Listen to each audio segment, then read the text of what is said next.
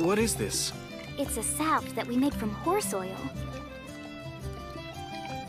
It's something we've used here for years. Applying it to the wound will ease the pain and help it heal faster. I see. Thank you. That's sweet.